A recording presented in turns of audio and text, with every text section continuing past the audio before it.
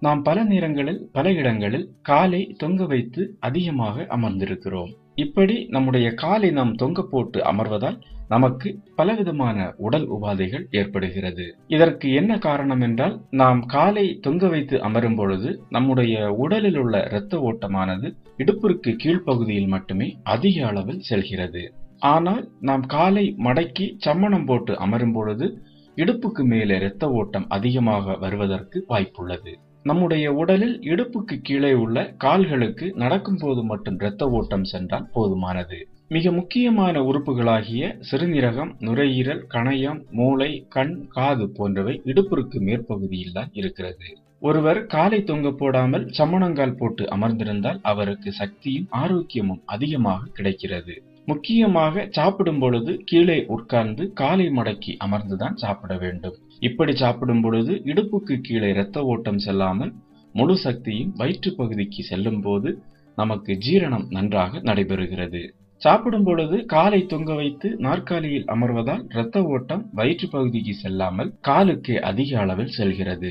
அதுபோல நாம் இந்திய வகை கழிவறை செல்லும் போது மட்டும்தான் காலை மடக்கி அமர்கிறோம். ஈரோப்பியன் கழிவறையில் அமரும் பொழுது குடலுக்கு அதிக அளவு அழுத்தம் கொடுத்தால் மட்டுமே கழிவு வெளியேறும். அதனால்தான் இப்பொழுது சிறு குழந்தைகள் கூட ஈரோப்பியன் வகையை பயன்படுத்துவதால் அவர்களுக்கு மலச்சிக்கல் பிரச்சனையோடு தரையில் சுக ஆசனத்தில் அமர்வதற்கு முடியாமல் தவிக்கிறார்கள்.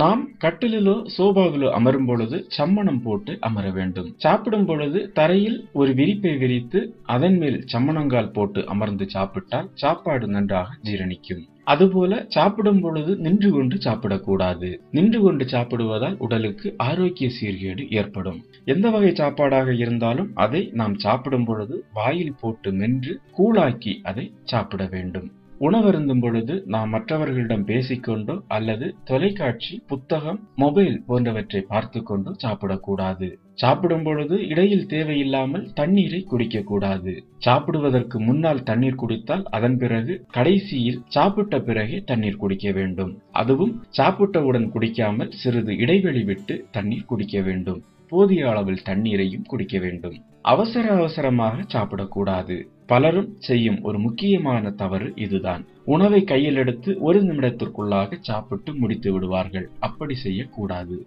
மெதுவாக சாப்பிட வேண்டும். அதுபோல உங்களுக்கு பிடிக்காத உணவுகளை கஷ்டப்பட்டு நீங்கள் சாப்பிடக்கூடாது. பிடித்த உணவுகள் கிடைத்தவுடன் அதை அளவுக்கு அதிகமாகவும் சாப்பிடக்கூடாது. மிக முக்கியமாக ஆரோக்கியமான உணவுகளை மட்டுமே அதிகம் சாப்பிட பழக வேண்டும். இரவு உணவில் முள்ளங்கி மற்றும் கீரை உணவுகளை சேர்க்கக்கூடாது.